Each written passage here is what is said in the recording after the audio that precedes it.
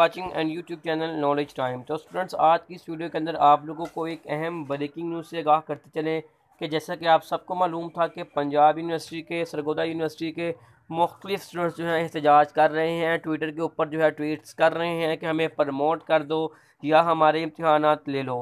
तो इसके ऊपर बहुत से यूट्यूबर्स जो हैं, इसके ऊपर वीडियोज़ बना रहे हैं। और आज की इस वीडियो के अंदर आप लोगों को मैं बता भी देता हूँ, मैंने आपको पहले भी बताया था कि यूट्यूब के ऊपर चैनल है एजुकेशन फैक्ट्री इसके ऊपर भी जो है आप लोगों की आवाज़ उठाई जा रही है कि आप लोग को इम्तहान लो या प्रमोट करो। तो अब इसके ऊपर जो है एक वीडियो अपलोड फिर हो चुकी है, चौदह घंटे पहले यहाँ पर अपलोड हुई है।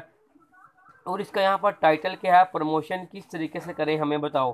कि इस वीडियो के अंदर आप लोगों ने बताना है कि आप लोग की प्रमोशन जो है किस तरीके से कर ली जाए B A B S C के और एम एम एस के स्टूडेंट जो ये वीडियो लाजमी देखनी है। इस वीडियो का लिंक आपको मैं डिस्क्रिप्शन के अंदर दे दूँगा और मैंने आपको पहले भी बताया था कि आप लोग इस वीडियो के नीचे जो कमेंट करेंगे नेक्स्ट वीडियो जो बनेगी इस चैनल के ऊपर, आप लोगों के जितने भी सवाल हैं, उनके जवाब जो हैं आप लोगों को मिलेंगे।